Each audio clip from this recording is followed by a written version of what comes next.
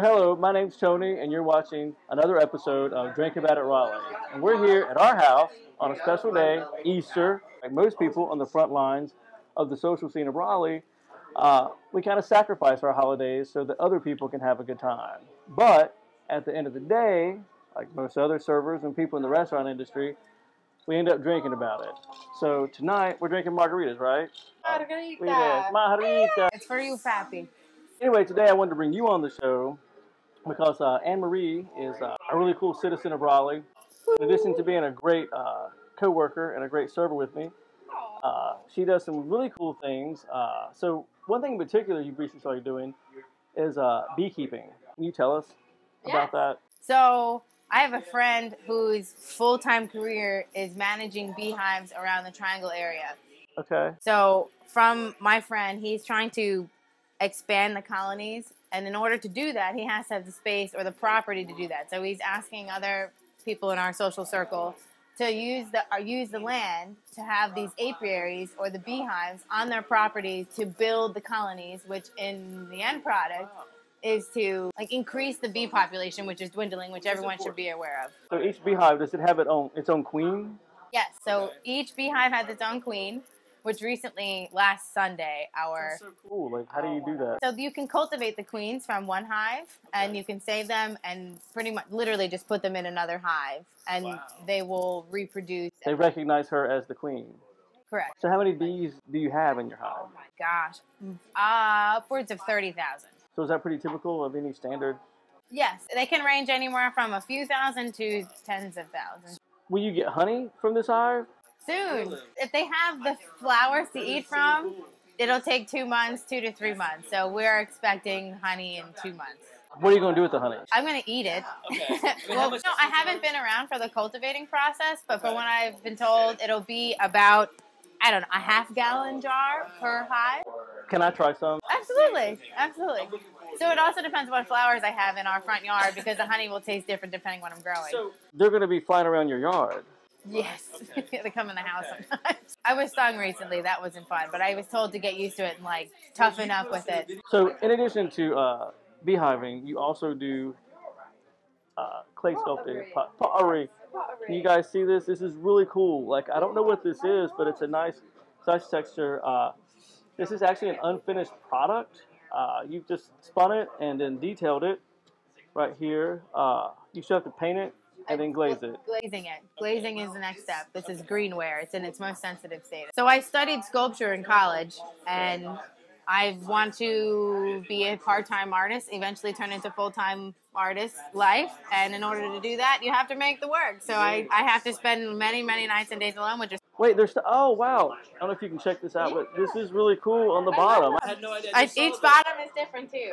That is really fucking cool. See this? I like your signature. I like it. Thank you. All right. So you spin these yourself on the wheel. I do. So uh, it's, the term is called throwing on the wheel. So you wedge clay to get air bubbles out, and you throw it on the wheel, and they're slick and uncarved, and then you let them dry to what's called the leather state. I use carving tools, and that's where we ended up with this. And So how long does it take on the wheel? Like how long are you there spinning? I can make, I can pretty much bang out 20 sh- like silhouettes of mugs in three or four hours. The carving takes about an hour each. The goal for me is to become a production potter, which is what I was taught how to set up for myself when I was a student. Production potter. So, production potter, you are the workhouse. You create multiple pots of the same shape or size or concept, and you make several of them, and then you sell them in large quantities. Uh, so anyway, if you want these, can, can people buy these from you? Yes, I'm working on my online store right now, Okay. AnnMarieValea.com. AnnMarieValea.com. Uh, anyway, I had a great time uh, talking with you.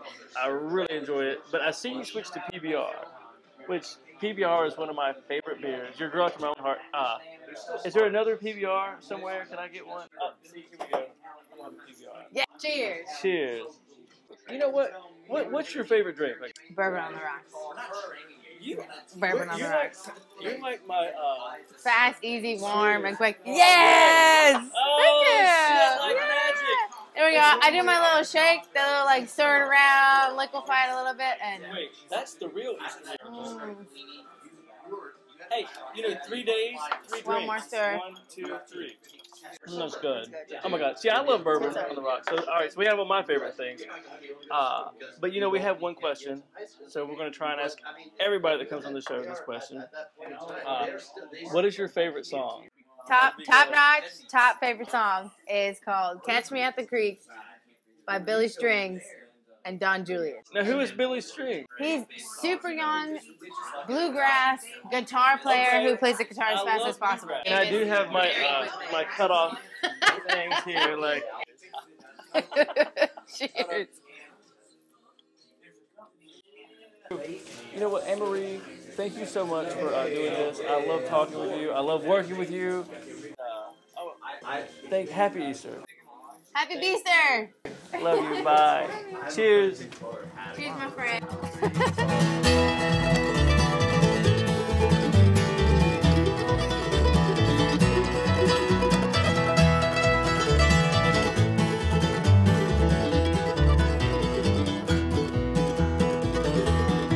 Well, I'm standing all alone by the river of my home, thinking about the days I left behind. Friggin' mulch.